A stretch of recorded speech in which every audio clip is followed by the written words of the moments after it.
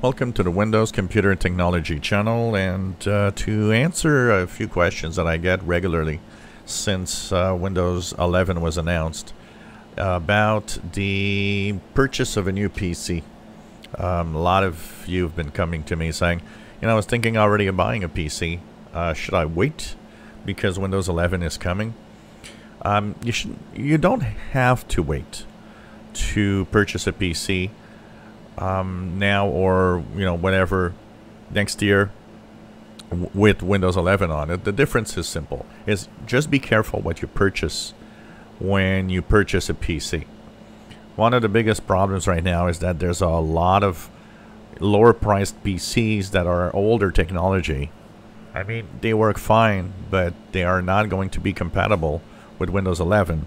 And that's something you need to know. You need to understand that just be careful what PC you're purchasing. Make sure if it's an Intel CPU that it's at least an 8th generation Intel or later. Um, you know, that it has everything needed. Because too many PCs are still in the, in the stores, in the shops, and are not going to be compatible with Windows 11. So that, if you do buy a PC now, be careful to buy something that is fairly recent, that has fairly recent technology too to it.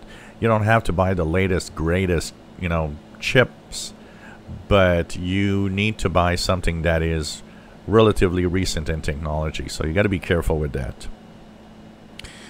That said, is it urgent for you to buy a PC now?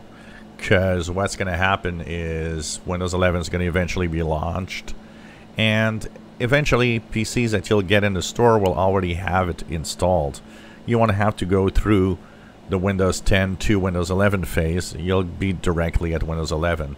So I think if it's not an urgent thing to do to get to Windows 11, um, or if it's not an urgent thing to do to simply have a new computer, you can still wait. Just wait it off and buy something next year uh, PC prices are quite high right now because there's shortages of uh, parts everywhere, and you know typical PCs are kind of a little high priced.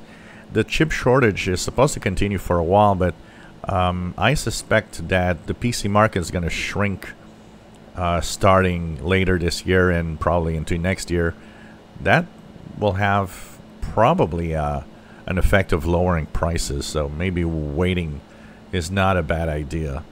Um, and, you know, just think about what is pushing you to get a new PC. Is it just thinking of Windows 11? Or is it just, well, you know, my PC is really slow or it has some issues? Um, so think about how urgent it is or not. If it's not, wait. And you'll have a new PC with Windows 11 eventually.